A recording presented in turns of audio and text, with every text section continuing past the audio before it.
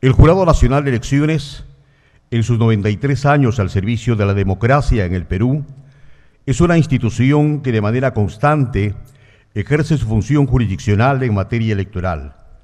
Además de dicha función, le asiste otras como la función educativa por mandato de la ley y es el interés del señor presidente del Jurado Nacional de Elecciones y de los señores magistrados del Pleno de este Supremo Organismo Electoral del Perú, que la educación ciudadana es un derecho absolutamente ineludible y que en eventos de esta naturaleza se tenga una adecuada información académica en referencia al Estado de Derecho, la democracia, los principios del derecho electoral y la justicia electoral. Como tal, este evento académico está orientado a reflexionar sobre temas vinculados a la democracia y a la materia electoral, con la finalidad de evidenciar el panorama político electoral de los últimos años en América Latina y despertar el interés en contribuir al fortalecimiento de la gobernabilidad democrática política y la construcción de una ciudadanía responsable e informada. Para dar inicio al programa que hemos referido, invitamos a la señora magíster doña Rosa María López Tribeño, directora de la Escuela Electoral y de Gobernabilidad, para ofrecer las palabras de bienvenida en el inicio de este evento.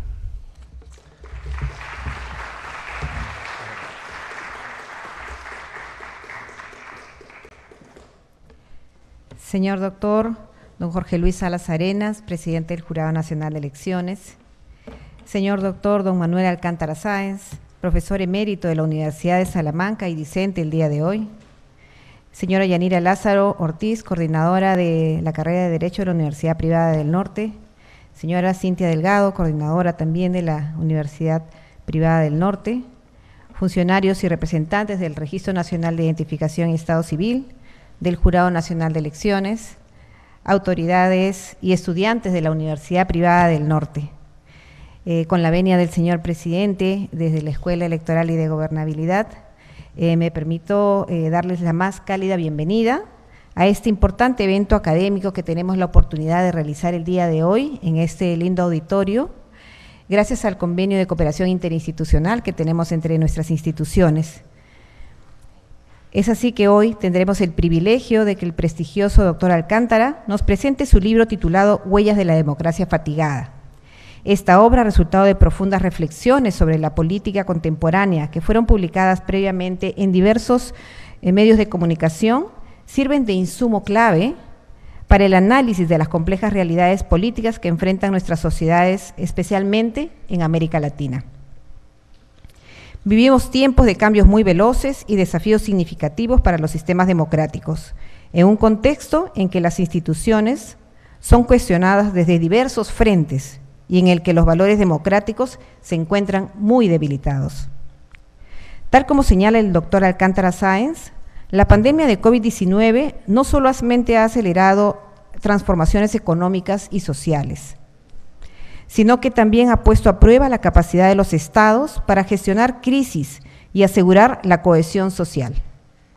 En este panorama, las democracias han mostrado signos de fatiga, evidenciando la fragilidad de los sistemas representativos de la región, un tema central en el libro que hoy se va a presentar.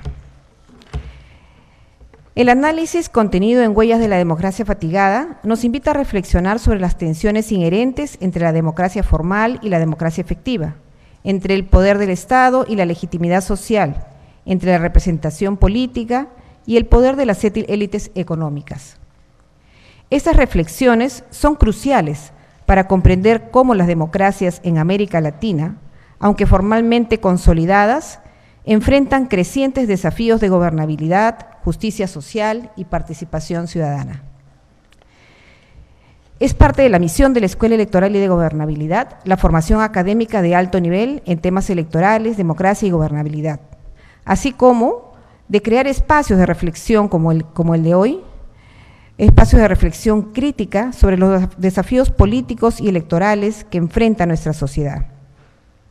Este evento se enmarca precisamente en esa misión, ya que promueve el diálogo informado y el pensamiento analítico como elementos cruciales para construir un futuro más justo, participativo y democrático.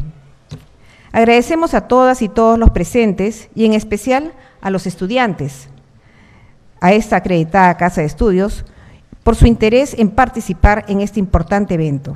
Estoy segura que las ideas que se presentarán contribuirán a enriquecer nuestro conocimiento y a reforzar nuestro compromiso con el fortalecimiento de nuestra democracia. Muchas gracias.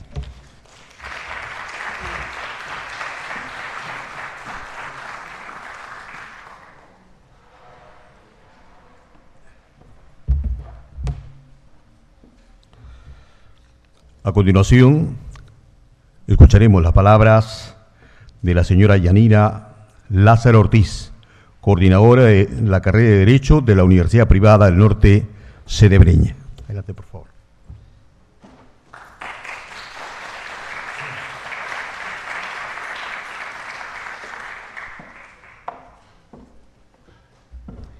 Buenas tardes. Buenas tardes con todos. Buenas tardes, estimado doctor Salas Arenas, estimado doctor Manuel Alcántara, autoridades, estimados docentes, estudiantes de la Universidad Privada del Norte, reciban un cordial saludo de parte de nuestro director académico de sede, el ingeniero Ronald Lazarte, y la decana de la Facultad de Derecho, la doctora María del Carmen Altuna. El día de hoy estamos reunidos para poder eh, presenciar justamente una obra de investigación que ha sido con mucho sacrificio y eh, reconocimiento a lo largo de la historia que hemos tenido del Estado peruano, como es el tema de la democracia. Democracia que año con año hemos ido eh, sacando adelante, muchas veces con apoyo de nuestro organismo eh, constitucionalmente autónomo, como es el Jurado Nacional de Elecciones. El día de hoy queremos hacer presente que nuestros estudiantes de Derecho eh, día con día vienen desarrollando diversas actividades de responsabilidad social en diversos colegios, justamente tratando eh, los temas con respecto a la democracia. Democracia que día con día hemos visto superar muchas trabas dentro de cada gobierno. Bien, sin más que decir, quisiera agradecer la presencia de cada uno de ustedes y darles pase para poder continuar con el evento. Muchas gracias.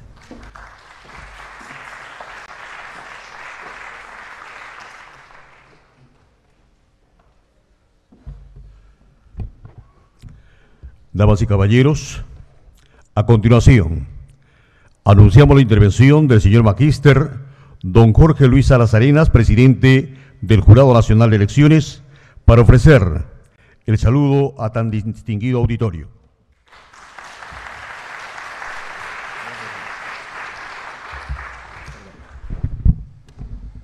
Muy buenas tardes con todas y con todos.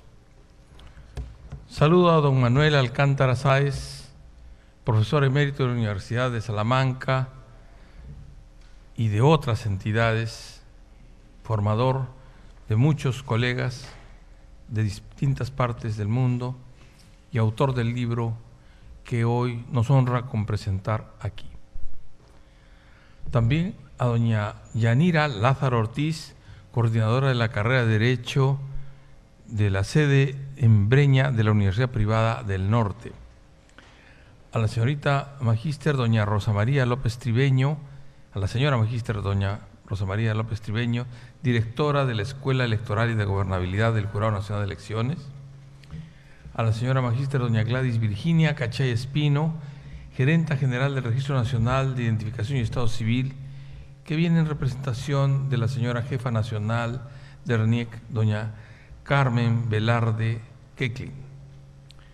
Saludo a las señoras y señores funcionarios de la Universidad Privada del Norte, del Jurado Nacional de Elecciones, de la Oficina Nacional de Procesos Electorales OMPE, del Registro Nacional de Identificación y Estado Civil, RENIEC, y a las jóvenes y los jóvenes aquí presentes, en cuyo favor desarrollan las actividades académicas en esta universidad, ¿no? y que, como dice su lema, hay que laborar fuerte y duro para llegar a cumplir las metas. El libro del profesor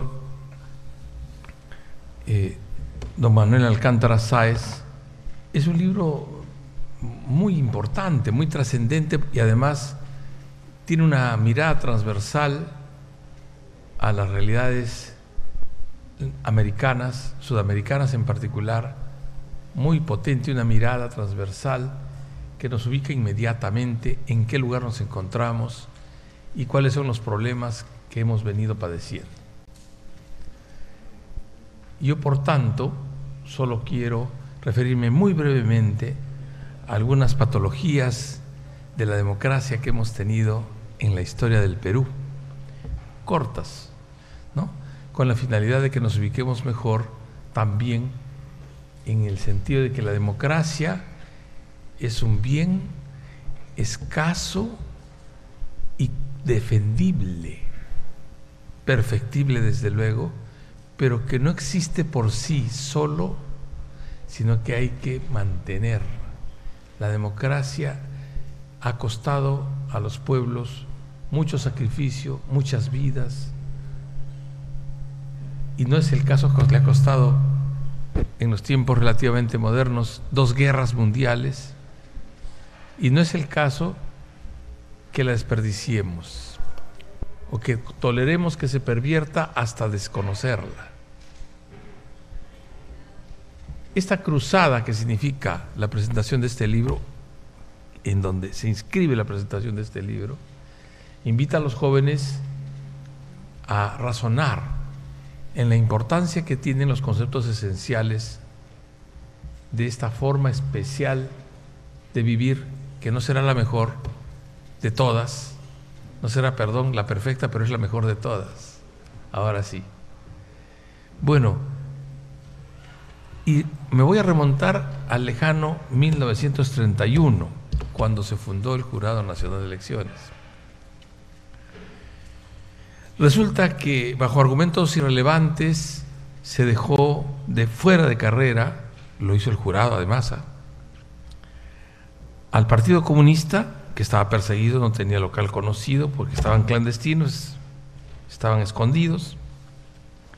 Y el 30 de abril de 1933 fue asesinado eh, Sánchez Cerro, el general Sánchez Cerro, perdón, el militar Sánchez Cerro, y pese a que la Constitución de 1933, vigente entonces, consideraba que son inelegibles presidente y vicepresidentes de la República los ministros de Estado y los miembros de las Fuerzas Armadas que se hallen en servicio, si no han dejado el cargo sin, seis meses antes de las elecciones, el Congreso Constituyente nombró presidente a don Oscar R. Benavides, militar en ejercicio.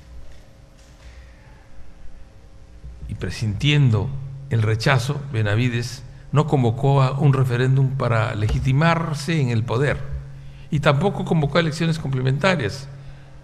Expulsó a los representantes del APRA, del Partido Aprista Peruano, y quedaron 23 vacantes en la Asamblea Constituyente. Se convocó a elecciones recién en 1934, que no se realizaron, y el Jurado Nacional de Elecciones dejó todo en manos del Congreso el comercio, la crónica, la prensa, que sean diarios que, salvo el comercio, ya no existen, y otros diarios, culparon al Jurado Nacional de Elecciones el haber cedido a la presión del gobierno, ¿no? Y bueno, pues, porque se dio cuenta de que sus candidatos no iban a ganar. Las elecciones complementarias se postergaron pese a la protesta y las acusaciones de falta de honestidad política no se hicieron. Otra circunstancia se produjo en las elecciones de 1936, en donde se vetó a algunos candidatos a diputados por ser apristas y por ser comunistas. En dichas elecciones no dejaban de acusar al presidente del Jurado Nacional de Elecciones, que era el mismo, el señor Araujo, Álvarez Araujo, Araujo Álvarez, de inexcusable parcialidad.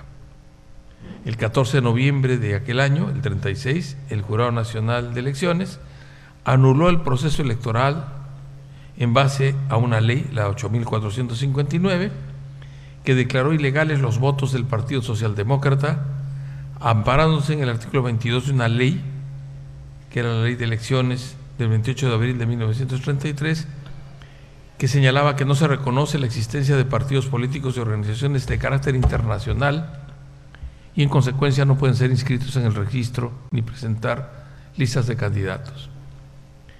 El Jurado Nacional de Elecciones consideró que los votos a favor del entonces candidato Eguigueren carecían de validez y el legislativo prorrogó tres años a Benavides y hubo un intento de golpe militar que fracasó, de modo que esa fue la historia hasta 1939.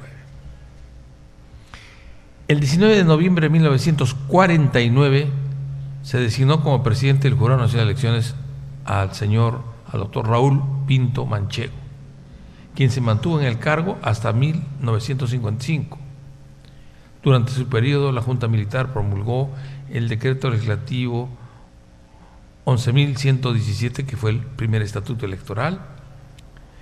Las elecciones de 1950 no fueron competitivas ni participativas, hubo un candidato único. Desaforaron a los candidatos que contendían con el general Odría y Odría compitió solo, jugó solo. El Jurado Nacional de Elecciones aceptó esa candidatura única y el 24 de junio de 1950 perdón, se proclamó ganador a don Manuel Apolinario Odría, quien permaneció en el poder hasta 1956. Damos otro salto. En el año de 1962, la Fuerza Armada, que es una fuerza no deliberante, declaró que había voluntad de fraude. El 10 de junio de 1962, el Jurado Nacional de Elecciones se declaró en sesión permanente. El 22 de junio de ese año, empezó a ver en audiencias públicas las unidades que se habían planteado contra el proceso electoral el 28 de junio de ese año la Fuerza Armada anunciaron a la nación que no se pudo impedir el fraude. Ningún candidato alcanzó el tercio de votos, por lo que el Congreso debería elegir ganador, se dijo. El presidente del Jurado Nacional de Elecciones, José Enrique Bustamante y Corso, defendió la legalidad del proceso, diciendo que todo para él fue transparente. El 18 de julio de 1962 se produjo un golpe de Estado ese día, el entonces coronel Francisco Morales Bermúdez, ulteriormente presidente de facto en otro golpe de Estado de la República del Perú, fue nombrado para hacerse cargo del Jurado Nacional de Elecciones y a él le sucedió Eleodoro Romero Romaña y el Jurado de Elecciones se instaló el 20 de diciembre de 1962 y estuvo a cargo hasta 1975. Durante algún tiempo el Jurado Nacional de Elecciones estuvo en manos de un componente del ejército peruano. En ese tiempo fueron enjuiciados varios trabajadores del sistema electoral, ulteriormente absueltos, se les acusaba de falsificar documentos de identidad, libretas electorales, entonces que ustedes ni conocen cómo era una libreta electoral. Bueno, lo que era el DNI en ese tiempo. El 5 de abril de 1900 92, que ya es una historia bastante reciente, se produce un golpe de Estado que se conoció como el autogolpe. El Congreso fue reorganizado, perdón, se disolvió el Congreso y se reorganizó el Poder Judicial. Y estas acciones se justificaron señalando que era necesario para combatir la corrupción y el terrorismo. Esta medida fue respaldada por las Fuerzas Armadas y tuvo el objetivo de centralizar el poder en el gobierno. Años después, salieron los Vladivideos. Yo les sugiero que visiten el LUM, el lugar de la memoria. Allí van a encontrar interesantes aportes sobre la historia viva del Perú, contada por el, por, el mismo Vladimiro Montesinos, es decir, registrada por el mismo Vladimiro Montesinos. Yo me he permitido alcanzarle hace un momento al profesor Alcántara, al doctor Alcántara, un pequeño extracto de algunas de las cuestiones que tienen que ver con lo electoral, porque seguramente cuando pueda les echará una mirada y corroborará lo que estamos diciendo. Bien, en uno de los videos aparece Vladimiro Montesinos pactando con el que iba a ser el presidente del Jurado Nacional de Elecciones, a quien convence para que acepte ser presidente del Jurado Nacional de Elecciones para manejar la re-reelección. Lo convence y le dice, no te preocupes, todo va a estar bien, todo va a estar cubierto, tu seguridad y la de tu familia están aseguradas. Y sobre remuneración, no te preocupes. Todos los meses yo te voy a dar 10 mil dólares. Vienes y, te entregamos directamente, no necesitas firmar nada, no va a haber constancia de nada, 10 mil dólares mensuales. Y así fue. Así fue. El resto de la historia, probablemente muchos de ustedes no la han vivido, pero sus papás y sus abuelos con toda seguridad que los conocen. Estos videos evidenciaron la magnitud de la corrupción y el control político que el régimen de Fujimori y Montesinos en ese tiempo habían establecido sobre los poderes del Estado peruano. La democracia tiene como asiento la división de poderes. Cuando se concentra el poder en las manos de alguien, ha dejado de ser democracia y se convierte en una, un autoritarismo y probablemente en una dictadura. Vamos a escuchar la presentación de don Manuel, que seguramente nos va a encandilar. Yo he leído su libro y a mí me ha encandilado vivamente. Le agradezco su presencia porque es un apoyo importante, trascendente al fortalecimiento de las ideas democráticas en el Perú. Muchas gracias.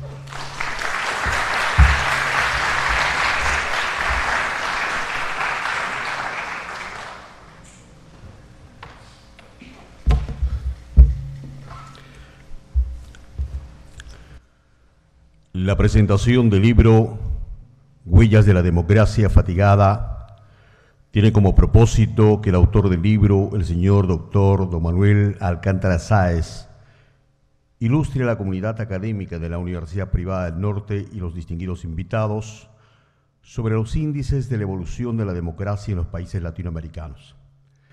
En ese sentido, la iniciativa académica de la Escuela Electoral y de Gobernabilidad del Jurado Nacional de Elecciones busca consolidar el rol trascendental que desempeñan los valores democráticos en la vida contemporánea.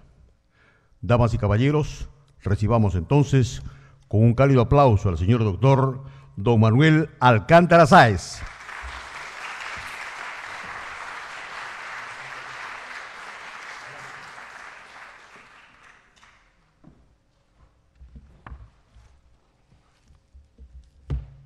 Buenas tardes.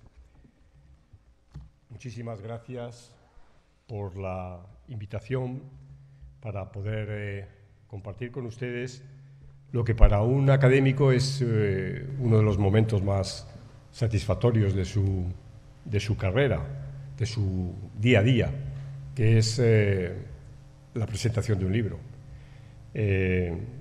para muchos el trabajo del intelectual, el trabajo del académico, cristaliza muy lentamente, muy lentamente, en eh, eso que llamamos un libro. Y la posibilidad de presentarlo pues, es una satisfacción eh, paralela a la de escribir el libro. ¿no?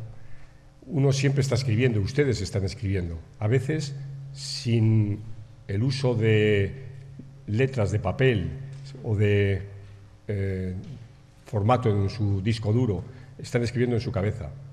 Todos estamos escribiendo constantemente. Cuando pensamos estamos escribiendo.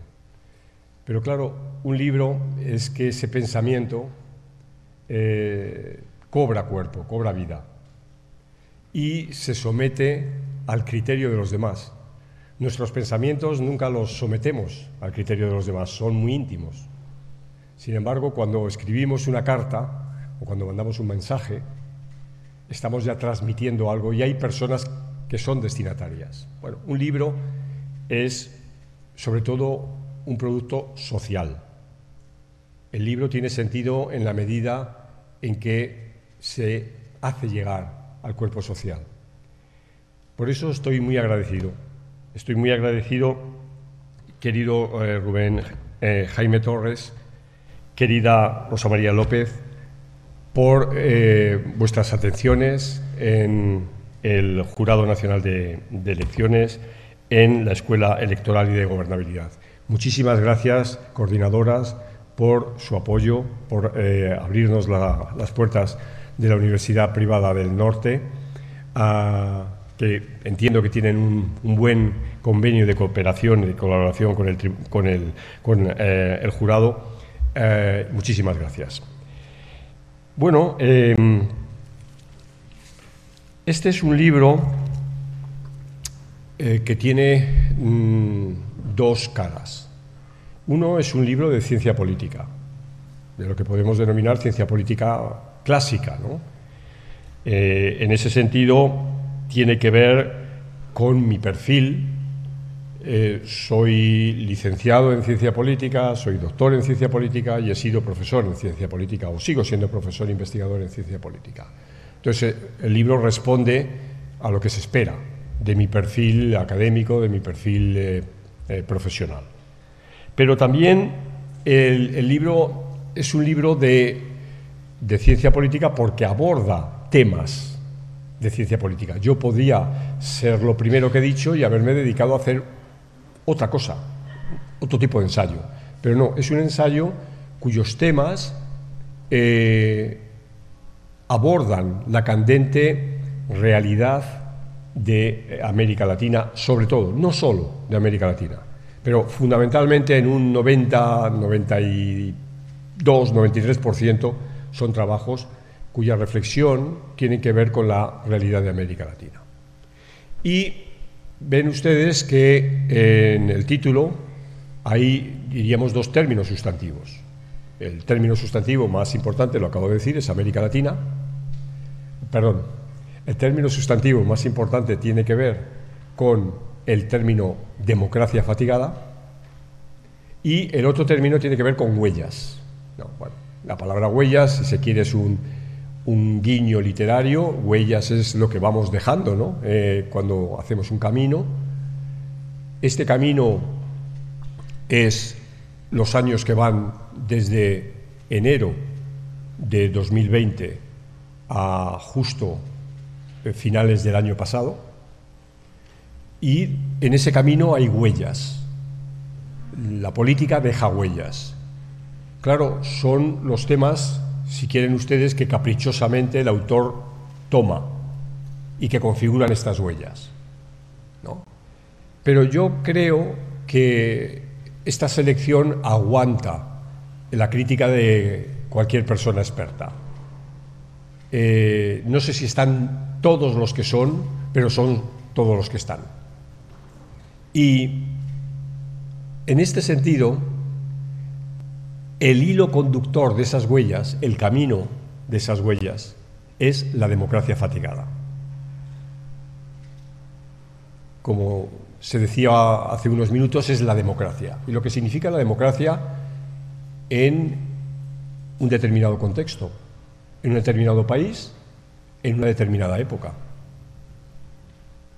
La democracia en Perú es una democracia, es un camino político muy, muy, muy, muy proceloso. No tiene nada que ver con el camino que ha podido seguir, yo que sé, la democracia en Noruega. O, por citar un país de la región, la democracia en Costa Rica. Los militares en Costa Rica estuvieron por última vez en el poder en el año 49. Después desaparecieron. Desaparecieron porque se eliminó el ejército. Fue una decisión política. Fíjense ustedes las citas que hemos podido escuchar de presencia de militares en la vida política de este país desde el año 49 para acá. ¿no?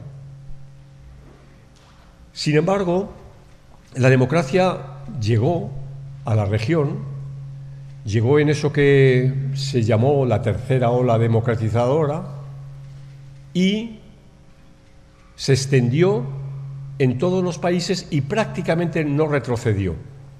Siempre se decía que el único retroceso democrático que había habido en América Latina después de la tercera ola era el caso de Perú durante la década de los 90, precisamente a partir de ese 5 de abril del 92. Lo pueden encontrar ustedes en cualquier libro de texto, en cualquier libro de texto escrito en, muchos sitios, muchos sitios diferentes, en otros países de América Latina, por, dejar fuera la realidad de Perú. En otros países de América Latina, en Europa, en Estados Unidos. Entonces, Perú fue la excepción. Ese, por lo menos claramente ese periodo que va entre el año 92 y el año 95, cuando el régimen en el año 95 se lava la cara con aquellas elecciones que, bueno, tuvieron un cierto componente democrático. Pero entre el 92 y el 95 no cabe la menor duda que había habido un golpe, un autogolpe, y que la democracia articulada sobre la anterior Constitución había desaparecido. Pero ese pequeño paréntesis se va a recuperar y eh, Perú entrará de nuevo en la senda democrática a partir del año 2000, como otros países de América Latina, a excepción de dos países que, en términos relativamente recientes, van a sucumbir a ese desarrollo democrático, que son Venezuela y Nicaragua. Pero el resto de la región es democrática, es democrático. Y tiene sus peculiaridades. Tiene sus peculiaridades. En un contexto, además, ya no solo regional, ya no solo de lo que llamamos América Latina, sino el contexto de las democracias del mundo.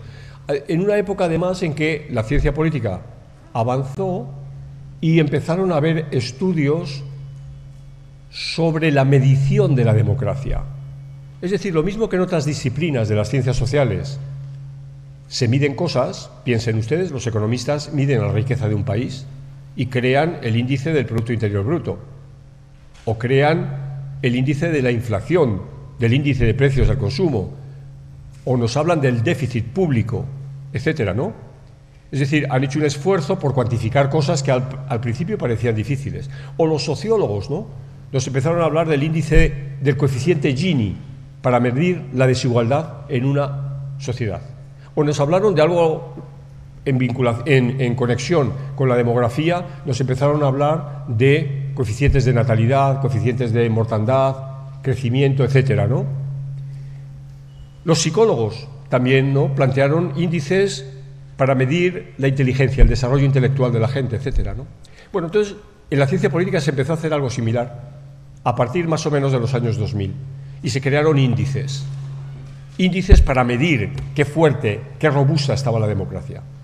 Y ahí está instituciones como Freedom House, como The Economist, como el proyecto Variedades de la Democracia de la Universidad de Göteborg, o como la Fundación Bertelsmann, o como IDEA Internacional, una fundación de, de Estocolmo.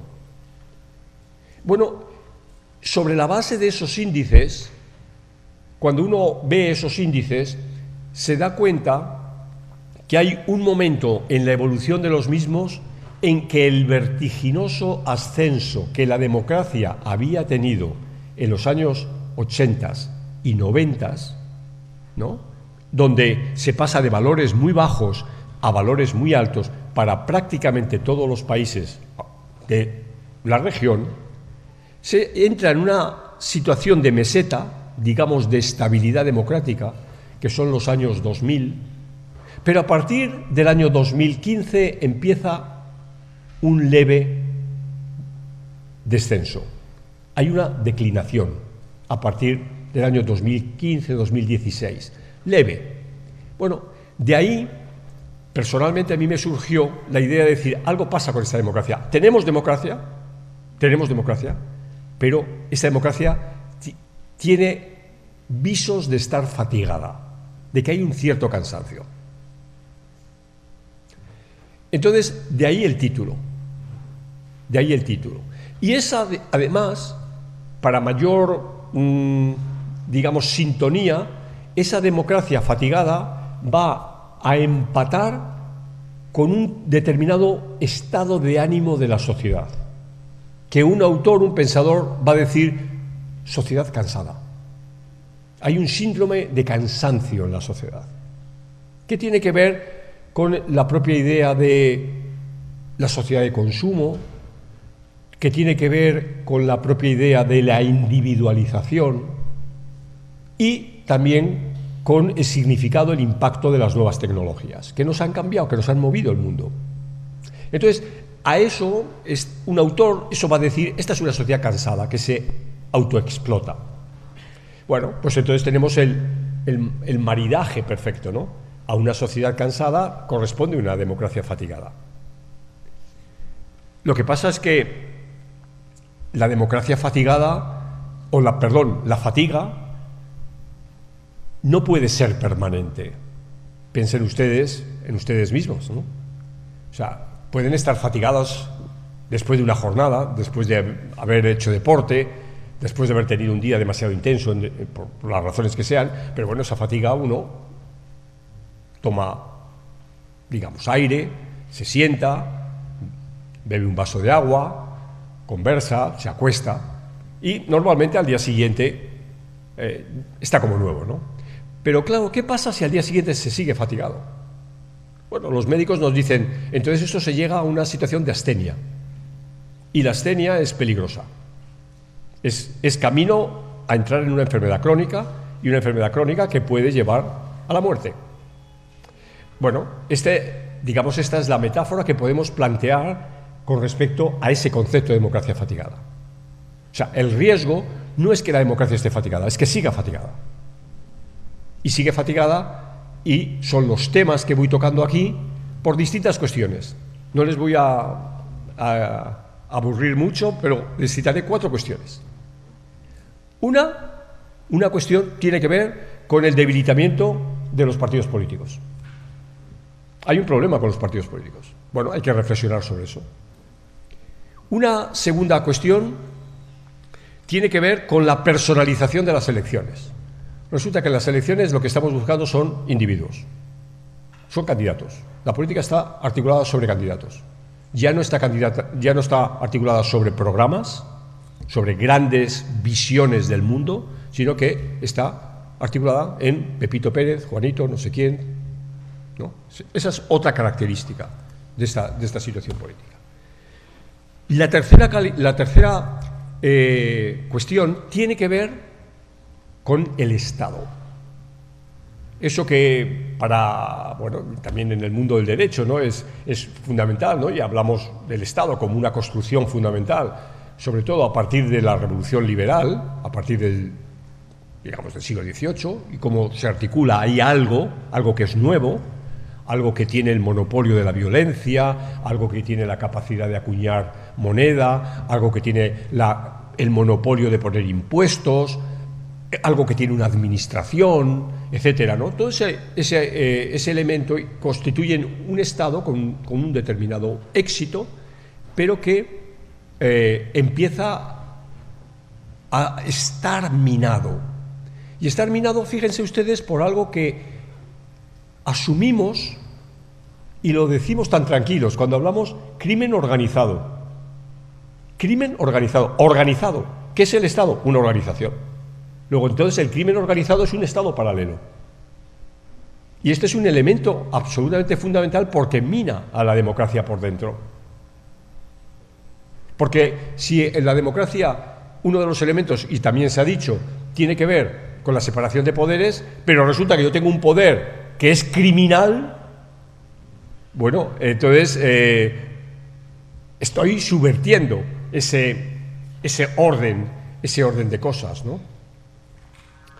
Y hay un cuarto elemento que es absolutamente fundamental, que tiene que ver con el fracaso de muchas de las democracias a la hora de reducir, no digo eliminar, fíjense, y subrayo mucho esto, de reducir uno de los problemas fundamentales que tienen las sociedades, que es la desigualdad. La desigualdad. ¿no? Bueno, entonces, eh, esos cuatro elementos están, configuran ejes en la, eh, en la articulación, en la articulación de, de este libro y son temas que, claro, que dan para mucho, ¿no? El libro tiene que ver con huellas, y el libro entonces en ese sentido es un relato, un relato, o si quieren ustedes, una crónica de esas huellas. Es un relato de las huellas, es un relato de las pisadas, pero es una crónica, una crónica que sigue algo muy ortodoxo, es la linealidad temporal. Es decir, en ese sentido, no soy original, ¿no? El libro comienza, como les he dicho, en enero del año 2000 y termina el 31 de diciembre del año 2023, perdón, del año 2020 y termina el 31 de diciembre del año 2023. Y cada capítulo va mes a mes, enero, febrero, marzo, con un tema. Entonces hay una linealidad. Y claro, esa linealidad permite dos cosas. Es un testimonio. Es decir, yo me gustaría, humildemente me gustaría, es que dentro de no sé cuántos años alguien dijera, ah, bueno, para ver qué pasó entre el año 2020 y 2023 está este libro. Porque ahí está el relato, ahí está esa senda. Entonces, eh, el libro, repito, pretende ser un testimonio, ¿no? Pero a la vez, lo enlazo con lo anterior, pretende ser un diagnóstico. Y claro, cuando, lo saben ustedes eh, por experiencia propia, cuando han ido al, al, médico y el médico les ha diagnosticado algo y se ha equivocado, bueno, pues los diagnósticos se equivocan. Se equivocan los médicos, ¿cómo no se va a equivocar un pobre politólogo? Si la politología es una ciencia muy, muy, muy, muy blanda. Es decir, no hay ningún politólogo que esté en su sano juicio, como ustedes lo saben ahora mismo, que pueda decir qué va a pasar dentro de 20 días en las elecciones de Estados Unidos. ¿No? Luego, el día siguiente de las elecciones de Estados Unidos, todo el mundo es muy listo y dice, no, no, si yo ya lo sabía, si yo ya sabía que iba a ganar este o esta. ¿no? Lo mismo nos ocurre con los temas, ¿no? Es decir, con los temas, diríamos, más estructurales, ¿no? ¿Qué va a pasar con la guerra de Rusia y Ucrania, ¿no? ¿Qué va a pasar? ¿Cuál es el escenario posible de esto en marzo? ¿No? Bueno, entonces, en ese sentido, claro, el libro se moja, o me mojo, porque hago diagnósticos.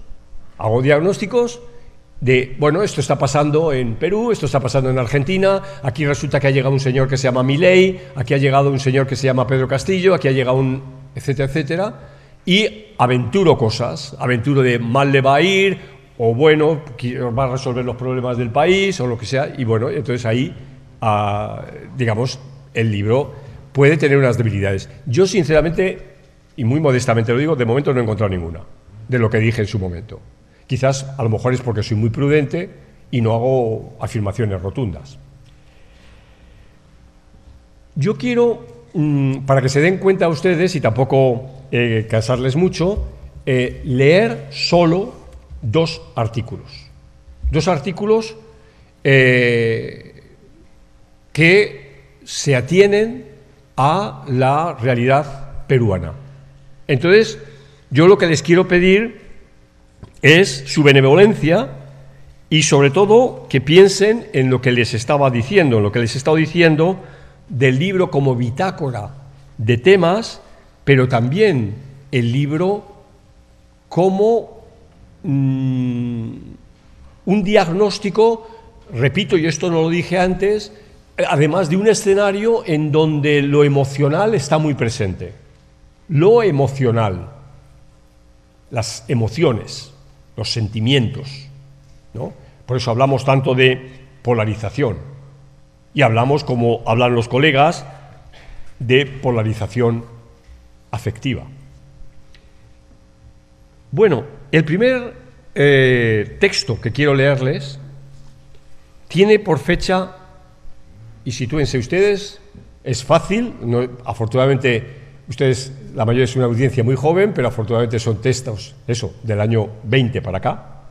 Entonces, este primer texto que leo está escrito en julio de 2021. Julio de 2021. Y el título tiene es un título muy provocativo que les va a causar inmediatamente, estoy convencido, una sonrisa.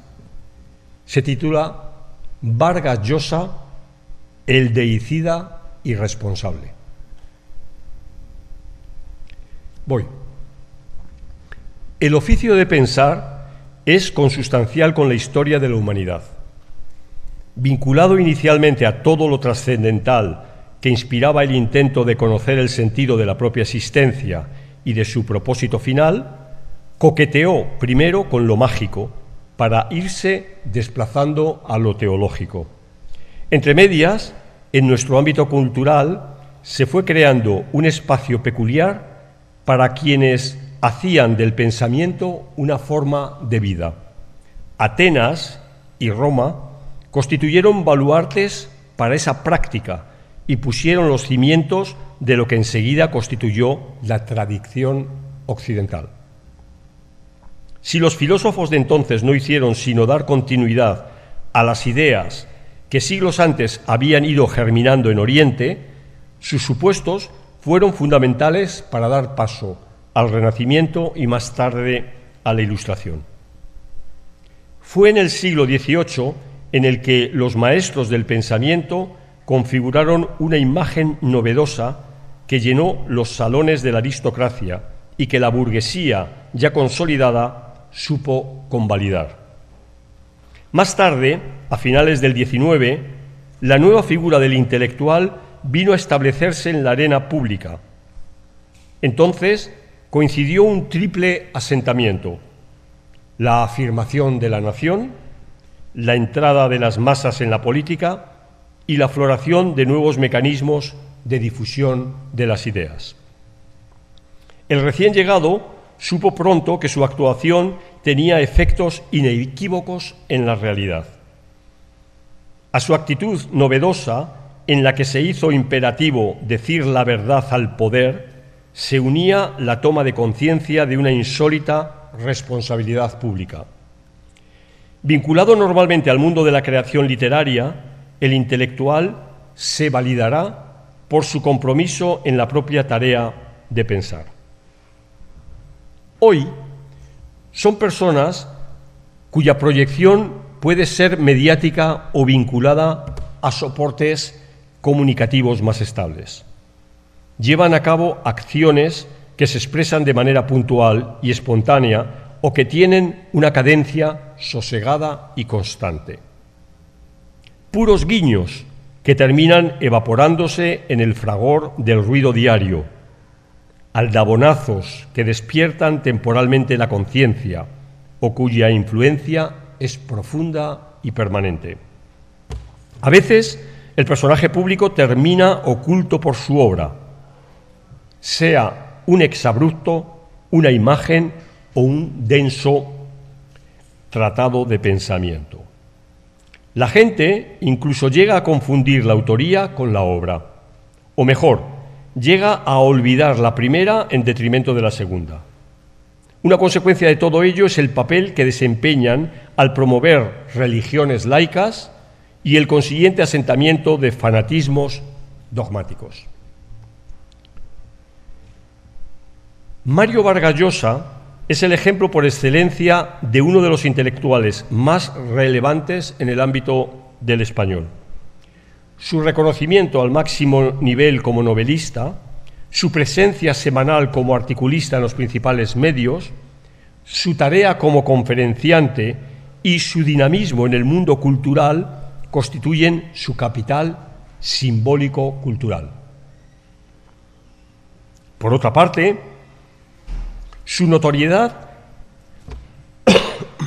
llena 60 años de creación, de momentos felices, de polémicas relevantes, de amores y odios encendidos. Constituye, sí, por favor. Constituye también un ejemplo excelente de personaje público que en un momento concreto tuvo ambición política y que luego lo contó. Muchas gracias. Desde su tribuna abarca multitud de temas. La política peruana se mueve desde hace décadas en un callejón de difícil salida, tras haber superado hace un cuarto de siglo los embates de uno de los movimientos guerrilleros más agresivos de toda la región. Todos los presidentes que ha tenido el país desde 1985 hasta muy recientemente han tenido problemas con la justicia. El sistema de partidos prácticamente desapareció a partir de la década de 1990, sustituyéndose por camarillas de candidatos. Las relaciones entre el poder legislativo y el ejecutivo son complejas, cuando no malsanas. Sin embargo, de las diferentes dimensiones de la democracia como es la electoral, las valoraciones de su rendimiento son correctas. Así, el país viene celebrando ininterrumpidamente sus comicios presidenciales y legislativos cada cinco años con resultados aceptables y validados internacionalmente. Desde 2001 hasta 2021, los presidentes electos lo fueron desde posiciones políticas diferentes y el margen de victoria fue corto, tendiendo a hacerse cada vez más pequeño. Así, Alejandro Toledo ganó en 2001 a Alan García por una ventaja del 6,2%. Este a Ollanta Humala en 2006 por el 5,3%. Este a Keiko Fujimori en 2011 por el 2,9%. Pedro Pablo Kuczynski a Keiko por el 0,3% en 2016 y ahora Pedro Castillo a Keiko otra vez por el 0,2%. En su columna semanal del 20 de junio del año 2021, Vargas Llosa escribió, comillas, mi impresión desde el lejano Madrid y a través de las múltiples y contradictorias informaciones que me llegan es cada día más de que ha habido graves irregularidades. Se cierran comillas. Tres semanas después sostuvo, se abren comillas, la presidencia de Castillo parece consumarse pese al fraude perpetrado por Perú Libre, que acompañó dichos comicios, por obra de un jurado nacional de elecciones que resiste impávido todas las demostraciones en contrario. Cierre ellas. Con ello, con ello, el afamado novelista comete dos graves deslices. Aquí viene mi diagnóstico, aquí viene mi subjetividad. El primero tiene que ver con su caída en la moda presente del uso de los hechos alternativos. Frente a la existencia de una realidad evaluada y administrada por quienes están institucionalmente nominados para hacerlo, exhibe una supuesta verdad diferente definida de manera ambigua y consistencia precaria. Su proclama es inmediatamente asumida como prueba fehaciente por la parte derrotada. El segundo es más preocupante, pues cae en una responsabilidad de lesa humanidad. De entre las muchas facetas que la actuación pública de un intelectual trae consigo, hay dos que configuran un bucle cuyo hilo conductor es la idea de responsabilidad. Existe un compromiso del actor con las implicaciones que sus acciones generan en otros y se da un cierto nivel de exigencia a la hora de mantener coherencia con sus acciones realizadas en el tiempo. Ahora bien, esta es muy difícil de mantener a lo largo de una vida en cuyo entorno se registran tantos cambios ideológicos profundos. Vargas Llosa, que escribió en 1971 el ensayo sobre García Márquez, titulado La historia de un deicidio, cuando apoyaba fervientemente la revolución cubana, ahora parafraseando a Max Weber, abraza exclusivamente la ética de la convicción, alejándose de la ética de la responsabilidad que exige tener en cuenta las consecuencias previsibles de la propia opinión. El Perú no lo merece. El segundo tiene como título la incompetencia para ejercer la política. Y es un texto que ve la luz, y también con esto ustedes ya se hacen idea de que estamos hablando de abril del año 2023. Y el texto reza así. Ecuador y Perú son posiblemente los dos países latinoamericanos que dentro del marco democrático hoy atraviesan el momento más delicado, abril del 23. Mientras el primero se encuentra inmerso en un proceso de juicio político al presidente, el segundo languidece tras la crisis política de diciembre del 2022 que llevó al presidente al encarcelamiento. Dos países, por otra parte, que desde 1985 acumulan respectivamente siete y cuatro interrupciones en el mandato presidencial y que el índice de la democracia elaborado recientemente por The Economist Intelligence Unit los califica hoy con el peor valor de la serie iniciada en 2006. El peor valor de la serie iniciada en 2006. La academia centra las explicaciones del éxito o en estos casos del fracaso de la política en razones que se registran en tres tipos de ámbitos. El primero se relaciona con cuestiones vinculadas con el diseño institucional. Aquí la forma de gobierno, presidencialista o parlamentaria, con sus matices diferentes, tiene mucho que ver sin olvidar cuestiones relacionadas con los niveles de descentralización o con la legislación electoral y partidista existente. El segundo se refiere a la capacidad que la política tiene de afrontar, y en su caso de resolver, problemas que la gente considera perentorios.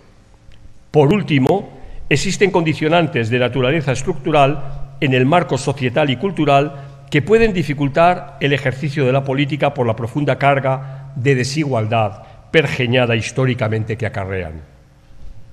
Sin embargo, se registra cierta negligencia a la hora de tener en cuenta el carácter explicativo que sobre la calidad en el quehacer de la política tienen las personas que ocupan lugares de responsabilidad en su conducción.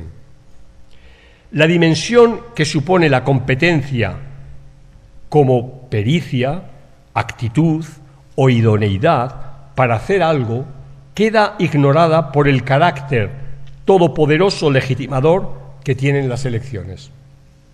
La persona elegida recibe sin más el mandato irrestricto de las urnas para llevar a cabo la propuesta que hizo al electorado. Los presidentes electos en Ecuador y Perú en 2021, Guillermo Lasso y Pedro Castillo, constituyen dos buenos casos de estudio siguiendo la, la senda esbozada por Plutarco en vidas paralelas. Castillo perdió el poder y sumió al país en una seria crisis política.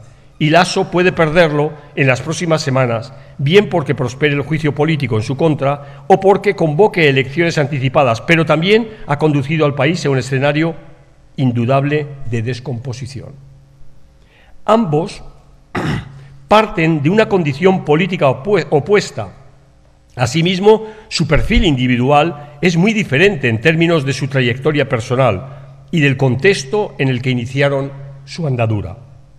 No obstante, un factor no siempre recogido en el análisis político, aunque sí en ambos casos por la crónica periodística, los une. La incompetencia.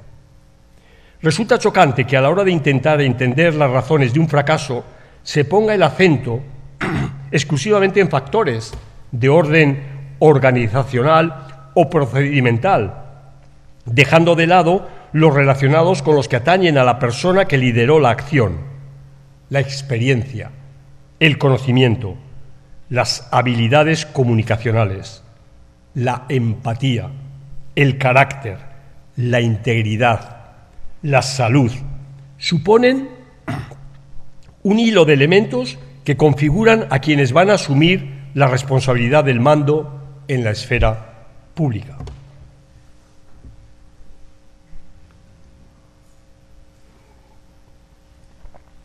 Todo ello establece un conjunto de habilidades y de conocimiento. Son componentes que se requieren en cualquier profesión, entendida como una tarea a la que se dedica tiempo y esfuerzo con una remuneración como contrapartida y que en el ámbito de la política supone además el manejo del poder con una determinada finalidad. Nikki Haley, nacida en 1972, es gobernadora republicana en Carolina del Sur y embajadora ante Naciones Unidas bajo el gobierno de Donald Trump, ha propuesto, abril del, 23, que los políticos deberían someterse a pruebas de competencia mental y cognitiva a partir de cumplir los 75 años. Si bien su idea tiene un claro componente militante en contra del presidente Joe Biden, así como por estar ella en este momento, en ese momento, compitiendo con Trump para la nominación presidencial republicana del 2024, no deja de constituir un mecanismo notable, aunque muy limitado y paradójico. La relevancia reside en entender que existe la necesidad de que los políticos se sometan a cierto tipo de exámenes que evalúen su nivel de capacitación para el cargo. Pero ¿por qué ligarlos a la edad? ¿Solo esta tiene impacto en la competencia mental y cognitiva? El despropósito permanente en la acción del Gobierno al faltar cualquier plan al respecto. La incapacidad de argumentar de modo coherente en público durante un breve lapso. El desconocimiento de cuestiones notorias esenciales del día a día. La falta de sensibilidad ante el sufrimiento. La ausencia de valores permean manifiestamente el comportamiento de parte de la clase política sin que nadie, sin que nadie pareciera objetar nada, suponiendo únicamente argumentos para justificar la desconfianza y el descrédito que llevan a la fatiga. Esto lo estoy añadiendo yo ahora. El credo democrático auspicia que cualquiera, con la sola limitación de la mayoría de edad, y la no interdicción por decisión judicial puede presentarse a una elección. Sin embargo, pareciera que la satisfacción de la responsabilidad inherente al ejercicio del poder requiriera de un freno ante la incompetencia. El problema, no obstante, radica a la hora de constituir tanto los parámetros que la definen en la línea de los elementos que he anunciado anteriormente, como la agencia independiente que pudiera determinarla. Ello no debe ser impedimento para, que la incompetencia de Pedro Castillo y de Guillermo Lasso, así como de otras personas que integran la clase política, no sea un asunto que la sociedad abierta tenga que abordar sin demora. Bueno, estos son los dos textos que quería compartir con ustedes. Espero que les haya generado algún tipo de pensamiento. Seguramente algunos estarán enfadados conmigo por lo que he dicho, otros eh, o otras estarán contentos por lo que han escuchado. No es eh, sí, puede ser una cuestión de opiniones. En este caso, en, mi, en, mi, en mi, terreno juega a mi favor eh, lo que los anglosajones llaman de seniority, pero en cualquier caso ha sido un placer. Espero que puedan leer el libro, degustarlo, criticarlo y, por supuesto, escribirme para decir que lo que no están de acuerdo, porque de eso se trata nuestra labor universitaria.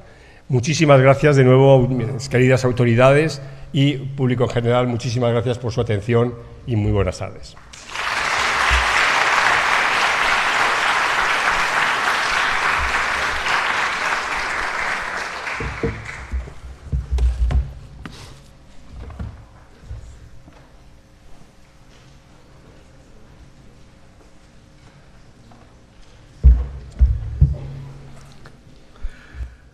Agradecemos por su magistral exposición del maestro Manuel Alcántara Sáez, quien tiene una trayectoria importante como investigador, como maestro, toda vez que ha dictado cursos en distintas universidades españolas, como el Centro de Estudios Constitucionales en Madrid, también en universidades extranjeras, como la Universidad de Georgetown, después la Universidad de Tulán, la Ciencia Política de Leile, Flaxio en el Ecuador y también la Universidad Pontificia Bolivariana, entre otras. Su trabajo lo ha realizado desarrollando temas importantes como líneas de investigación, el estudio de las élites parlamentarias, las elecciones, los partidos políticos y los poderes legislativos en América Latina. También ha desarrollado estancias prolongadas de investigación en el Colegio de Europa, la Universidad de Carolina del Norte y en la Universidad de Notre Dame. Eh, creo es importante también alcanzarles esta noche las principales publicaciones que ha efectuado el maestro Manuel Alcántara Sáez, como es Gobernabilidad, Crisis y Cambio, Instituciones o Máquinas Ideológicas, origen, programa y organización de los partidos políticos latinoamericanos, los sistemas políticos de América Latina, sistemas políticos de América Latina, el oficio del político, y hoy nos entrega esta importante obra, Huellas de la Democracia Fatigada. Un fuerte aplauso para el maestro Manuel Alcántara Sáez.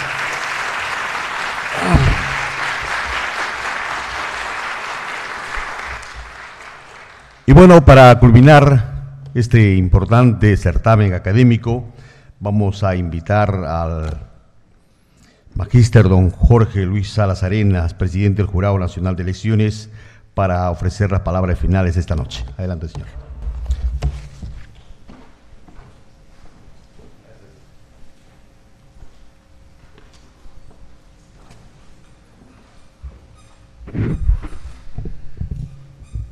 Yo me inscribo dentro de las personas altamente satisfechas con, este, con esta exposición tan interesante. Eh, pareciera como que hubiera habido un acuerdo de, que viene desde 1921, cuando no conocía, no tenía el privilegio de conocer al maestro y escribió lo que escribió en relación al proceso electoral y a la intervención de nuestro compatriota, que dicho sea de paso, hasta hoy no se ha disculpado de aquellas cosas que dijo. Y al escucharlo, eh, descubro que su, su diagnóstico es este, un diagnóstico exacto. Eso fue, eso pasó. Eso pasó. y la conclusión sobre este particular, sobre todo para los jóvenes, es que no hay que consumir el caramelo o el dulce con envoltura. Hay que pelar la envoltura, se pueden raspar todo el tracto, ¿no? Y hay que saborearlo antes de pasarlo. ¿Sí? Porque sobre todo los jóvenes, pero no solo ellos, son altos consumidores de noticias fast y falsas. Es decir, la noticia rápida, no importa lo que diga, pero ya. Y luego, además de consumirla, de difundirla. de todo lo razonablemente señalado en materia de análisis político, esta cuestión que es más sociológica que política, esto último, sobre el consumo de noticias falsas, es bueno recordar que hay un día mundial contra el discurso de odio y la noticia falsa, porque dice las Naciones Unidas que este es un veneno, un cáncer para la democracia y para el intelecto de la comunidad, ¿no? el sentir y el pensar. No me cabe sino agradecerle a don Manuel que ha tenido la bondad de venir aquí, al Perú, y a la universidad que nos ha abierto sus puertas para poderlo escuchar. Y agradecerles a todos los que han tenido también la gentileza de asistir. Estoy seguro que lo que han oído de algún modo habrá de incidir en su modo de mirar la vida. ¿no? Ustedes no son, los jóvenes me refiero, no son el futuro, son el presente, el hoy. Ya no son el futuro. El futuro serán los pequeñitos, los que están, los parvulitos que están estudiando las primeras letras. Ustedes son el presente. Es más, ustedes, ustedes van a definir dentro de un par de años el futuro del país con un nuevo proceso que se va a realizar. Lo van a definir. De modo que para poderlo hacer razonablemente hay que nutrirse adecuadamente de la información. De la información. Estoy seguro que ustedes lo van a hacer ustedes que son el sector privilegiado de la juventud, porque en nuestro país, lamentablemente, muchos jóvenes no tienen las posibilidades de la educación superior. No la tienen.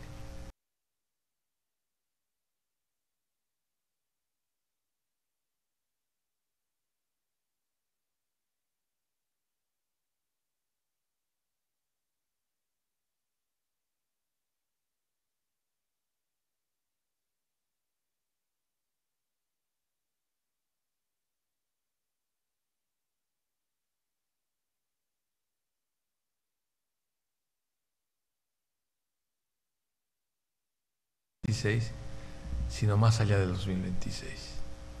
Estoy seguro que el país con ustedes, con ustedes, estará en las mejores manos. Muchas gracias, profesor, por sus nobles consejos y por su expertise aquí puesta de manifiesto. Para todos nos va a ser muy útil. Muchas gracias.